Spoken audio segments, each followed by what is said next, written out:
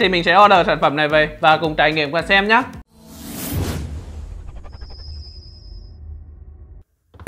Ok thì uh, như vậy mình đã trên tay được cái sản phẩm này rồi.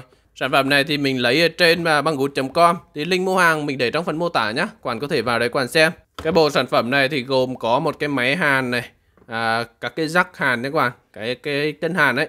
Cái máy này thì giá tiền nó cũng uh, không quá đắt đâu các bạn ạ cũng vừa rẻ thôi. Cái này thì mình thấy rất là phù hợp cho những anh em nào sửa chữa ô tô. Tại vì là mình thấy uh, cái nghề ô tô ấy thì hay sửa chữa những cái gò à, bằng cái băng nhựa ấy. Đây mình sẽ mở ra quản chiêm ngưỡng bên trong nhé hôm nay mình sẽ test thử này cũng như là bung quản chiêm ngưỡng cái bên trong của cái máy này luôn. Bộ này thì gồm có à, một hai ba bốn cái rắc.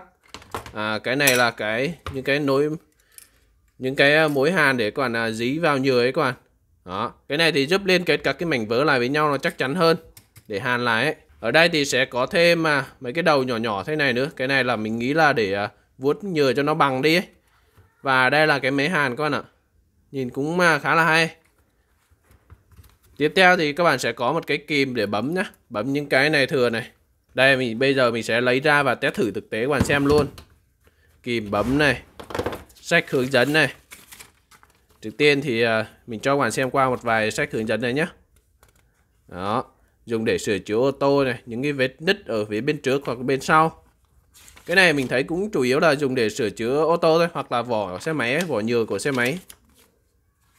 Ờ, toàn tiếng Trung cả các bạn ạ. Công suất của con này nó chỉ là 30W thôi. Nó tổng công suất của nó chỉ 30W rất là nhẹ nhá. Rồi bây giờ mình sẽ test thử xem nhá. Tí nữa mình sẽ bung hoàn chiêm ứng nội thất bên trong của cái máy này về cái máy này thì mình cũng thấy được quảng cáo khá là nhiều rồi. Xem một số ờ, video ở trên TikTok ấy cũng thấy khá là hay. Nên là lấy về review cho anh em xem.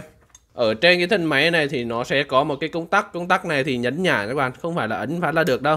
Đó, nhấn nhả này. Ở đây mình đã chuẩn bị được một bánh vớ này. Bây giờ mình sẽ liên kết hai cái tấm này lại với nhau. Cái này thì nó khá là mỏng quá ạ. Không biết là có thể liên kết được hay không. Trước tiên thì mình sẽ ghép nối ờ, nó tương tương đối là lại với nhau vậy là nhá. Ở đây mình làm mẫu thôi. Mình sẽ tròn cái đầu à, nó nhỏ nhất. Cái này cũng không được nhỉ.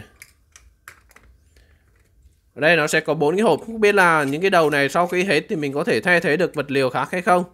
Cái này thì mình cũng chưa rõ qua này. Không biết là có thể thay thế được những cái này hay không? Có thể thay thế bằng thép mềm này. À, sẽ gắn vào đây nhé đó, gắn vào như thế này các bạn này. Và bây giờ mình sẽ dí vào nhựa chỗ này.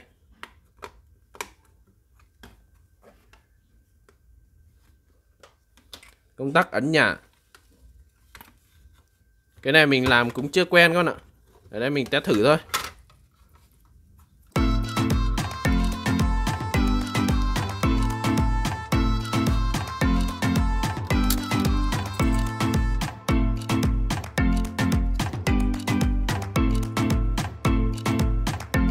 Hàn cái này thì mình cũng phải đợi một xíu để cho cái cái thép này nó nguội đi này thì mình mới gỡ được ra.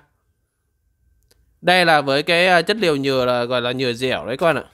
À, cái này chắc là nhựa chết chứ không phải nhựa dẻo đâu. Mình vẫn chưa biết cách hàn con ạ. Cái tấm này nó khá ở đây cái tấm này, này nó khá là mỏng nó rất là mỏng nhá nên là mình à, khó hàn. Thấy mấy cái này nó phù hợp cho những công việc như hàn à, cho xe máy ô tô thì hợp lý hơn con ạ đây, mình thấy ở trong à, quảng cáo là người ta có thể dùng tay và bẻ cái này, thì mình sẽ thử nhá. Dùng tay có thể bẻ luôn các bạn ạ. Hồi nãy mình có thử thử bẻ một cái đâu không được này. Cái này chắc là mình dùng kìm nhá. Hồi nãy thì mình dùng tay thì mình có thể thử bẻ được nhá. Ở đây, cái này này. Đó. Dùng tay là bẻ nó cụt vào trong này luôn. Còn dùng kìm bấm ấy thì nó sẽ nhô lên thế này. Rất là xấu. Dùng tay nhưng còn sẽ bẻ theo chiều nhá chứ không phải là chiều nào cũng bẻ được con ạ. Đó. bẻ theo chiều con ạ. Bẻ theo chiều gập thì nó mới nhanh. Còn mà bẻ khác một phát là nó nhô cái này lên. Thứ hai nữa là mình uh, chưa biết cách hàn con này. Phát đầu tiên thì mình hàn thấy nó khá là đẹp rồi nhưng phát. Thứ hai nó bị uh, hơi nhô lên do là mình ấn nó quá nhiệt này. Đó. Và thứ ba thì cũng tương đối là đẹp. Sau khi hàn xong như thế này thì uh, sẽ lấy dây nhám và đánh ở chỗ này cho nó mịn đi. Khá là chắc chắn đấy con ạ nói chung là hàn xong thì tương đối là chắc chắn. Nhưng mà cái vật liệu mình hàn thì khá là nhỏ. Thứ hai nữa là mình hàn này chưa được sâu vào cho lắm. Để mình tìm cái vật liệu nào nó to hơn một xíu nhá để mình hàn thử xem thế nào. Ở đây mình vừa kiếm được một cái miếng nhựa nó dày hơn một xíu. Để hàn à, cái tay nghề của mình kém đấy các bạn. Không phải là lần đầu mình tiếp xúc với cái này nên là mình cũng chưa biết cách hàn nữa. Review cho anh em xem thôi cũng như là mình sẽ test thử và bung ra cho anh em xem. À, đây cứ để tạm thế này nhé các bạn. Đó cũng là cái mối hàn hồi nãy. Mình thấy à, cái mối hàn này là dễ hàn này.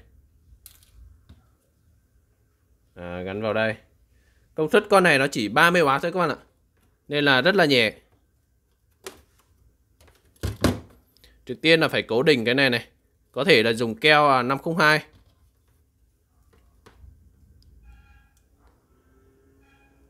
đó dí vào. À cái này có thể có vẻ như là dễ hàn hơn các bạn ạ. Tại vì là cái này nó dày hơn nên mình có thể ấn được sâu xuống. Cái này có vẻ dễ hàn hơn này. Khả năng là cái tay nghề của mình đã lên các bạn ạ. Nhìn à, mối hàn có vẻ đẹp hơn rồi ok, mình test thử ba đường thôi các bạn ạ. Các bạn thấy này. Để mình sẽ bẻ cái này đi nhá. Bẻ thì à, sẽ theo chiều này. Đó. Hồi nãy mình biết rồi, bẻ sang bên này này cứ cái theo cái chiều à, ngược lại của cái đường viền này nhá. Ngược lại bên này này. Đó thế nó nhanh, nhanh giòn hơn. Đấy bên này này.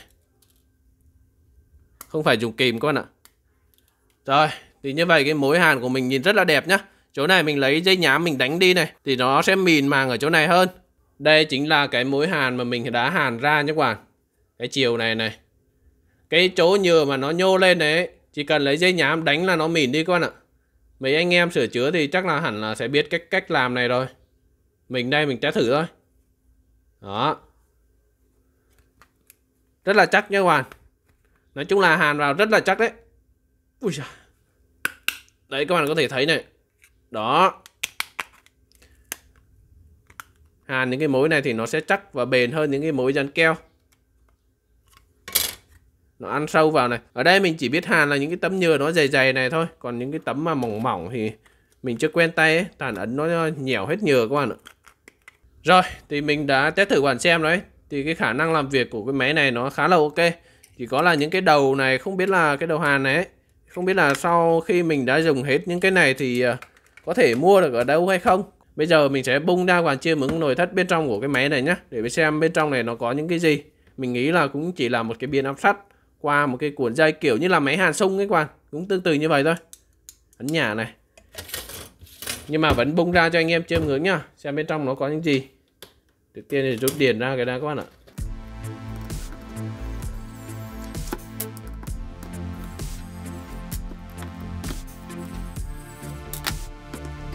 Đó, đúng như mình dự đoán luôn. Bên trong à, sẽ có một cái biến áp sắt nhá đây là biến áp lõi sắt nhé các bạn, không phải là biến áp lõi ferrit đâu. Lõi sắt này, ở dưới này là sẽ có à, đường dây điện đi qua đây. Nối lại hai cái đầu chân hàn này. Thì để làm nóng cái thép kia thì nó cũng không cần cái công suất quá cao đâu. Nó chỉ cần à, biến áp như thế này là có thể làm nóng được rồi. Đây là cuộn dây này. Đó. Cái máy này thì nó rất là đơn giản. Công tắc tắt bật thôi. À để mình xem là nó có thể hàn được hay không nhá. Để xem thử là nếu như mà quản không có máy hàn là cái máy này có thể sử dụng được hay không. Xem thử là cái trường hợp cấp bách có thể uh, sử dụng cái máy này để hàn uh, dây điện hay không. Thử nhá. À vẫn hàn được quan ạ. À, vẫn đỏ luôn này. Đó. Vẫn đỏ luôn nhá đây mình sẽ thử hàn cái này cái nhá. Vẫn chín được nha các bạn. Nó vẫn có thể hàn được này, nhưng mà nhưng mà cái cái này lúc mà nó nóng lên đấy cái đầu này này, lúc mà nó nóng lên thì nó sẽ mềm các bạn ạ. Nên là mình, cái việc mà mình hàn những cái mối hàn to ấy thì chắc chắn là không được rồi. Cái này thì cái nhiệm vụ của nó là không phải hàn, đây là mình đang test thử thôi. Không phải là cái nhiệm vụ của máy hàn dây điện nhá. Ok, thì như vậy mình cũng đã mở hộp cũng như là test thử và bung ra quản chia mướn bên trong một cái máy hàn nhựa như thế này rồi. Thì các bạn nghĩ gì về cái máy hàn này? Các bạn cứ comment ở bên dưới video nhé. Thì link mua cái này mình để trong phần mô tả nhé. Còn bây giờ các bạn muốn mình mở hộp hay là trải nghiệm những sản phẩm nào? Các bạn cứ comment ở bên dưới video. Và đừng quên là đăng ký kênh thì VTV cũng kênh chế đồng hồ mình nha. Chào các bạn.